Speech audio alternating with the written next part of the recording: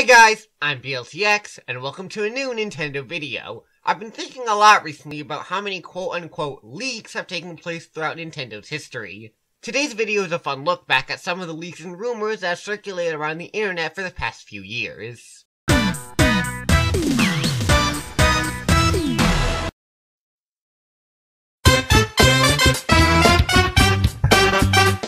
Did you grow up in the 90s?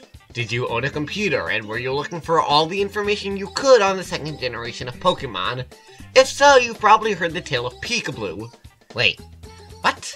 Isn't that just Marill? Yes, it is, but in the 90s everyone referred to this Pokemon as Pikablu, and you can thank the internet for that. Nowadays, the internet is a machine of endless possibilities, where anyone can share whatever they want. But back then, the internet was a little different. It didn't have all these incredible tools that we have today. Marill was one of the first Pokemon revealed from the second generation, and with enough time to pass through the internet, Pikablu was born, along with many rumors on how to catch him. Catch Missing MissingNo and use a Water Stone on Raichu, beat the Elite Four 100 times, and get all 151 Pokemon, and visit Mr. Physics with the legendary birds on top of your Pokemon, and he will tell you how to catch Pikablu. Go to the cave where you find Mewtwo, use the item finder to detect an item, press A over where you find the item, and you'll engage in the battle of Pikablu.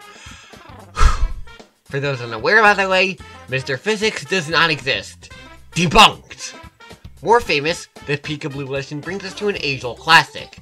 L is real 2401. What does this mean? Basically, it's an old urban myth that proves Luigi is playable in Super Mario 64. No, not the DS remake.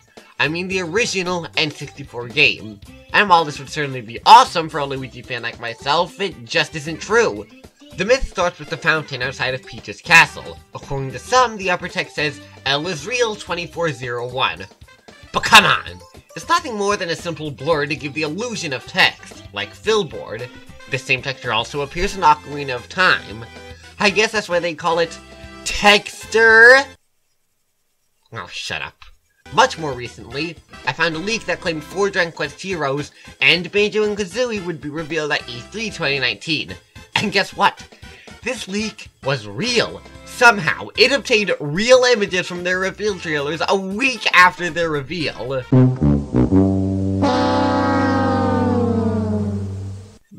Isn't even a fake leak. This is just pathetic.